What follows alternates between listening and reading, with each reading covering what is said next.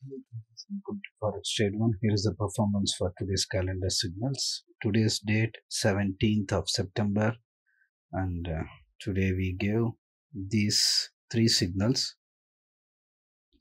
sell gold, sell oil, and sell Euro USD. Reason why we are selling gold, for example, the reason is mentioned here. Usually, the reasoning will be based on economic calendar data and also we are considering the oversold and overbought market conditions.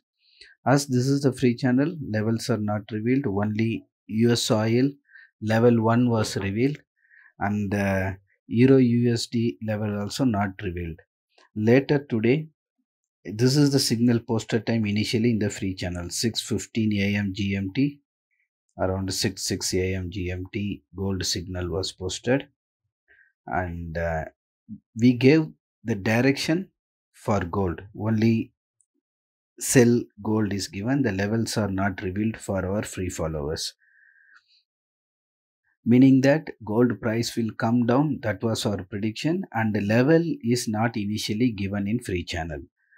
Later today at around 9 am gmt we shared the screenshot from our premium channel. This is the signal posted time in our premium channel morning 6 am gmt we shared this signal in our premium channel.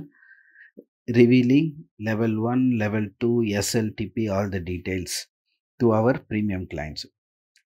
Here in this free channel we revealed only the level 1 later at around 9 am gmt we shared.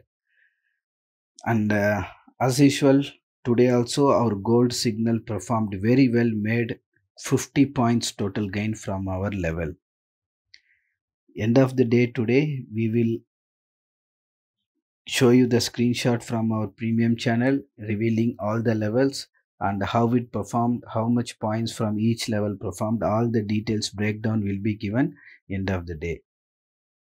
And today as of now 50 points gain on gold 40 pips euro usd performed and us oil made 1.7 point gain. The update is given here and if you have any question or doubt or if you are interested in joining in our premium service to get the levels much earlier in advance in time with sltp all the levels you need to ask our customer support team for the details.